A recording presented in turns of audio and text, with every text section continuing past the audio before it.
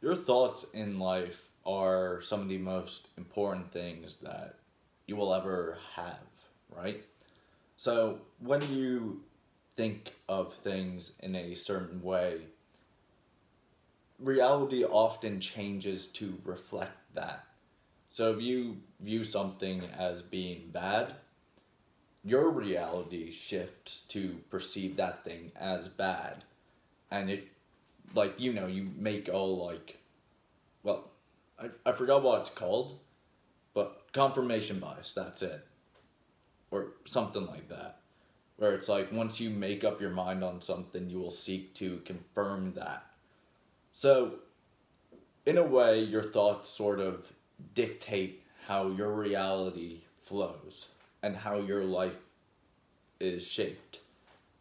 Now, this is important because oftentimes we view ourselves in a way that isn't really like it isn't really too we don't think of ourselves too highly. And by doing that, we tend to lower ourselves down and lower our potential down so that we meet our expectations of ourselves. Now, if you think of yourself more highly, if you think of yourself as being very capable of doing anything that you set your mind to, and you sort of attack at your goals in life with that sort of mindset, you will find that it comes a lot easier to actually achieve those goals. And essentially, what I'm trying to say is the thoughts you have about yourself and other things are very important.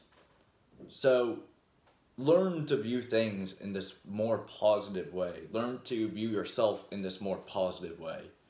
Learn to change your reality through your thoughts, essentially. And I know that's like a very broad, like, you know, like a very abstract concept, but there isn't really like an easy way to put what I'm trying to say into words. Other than, you know, the title of this video, You Reap the Thoughts You Sow. I believe that is probably the best way to put it. You reap the thoughts you sow. So whatever you think, you will reap that. You will. You... All right. Hold on, give me a second. I'm trying to formulate my thoughts here too. Whatever you think is how things will become.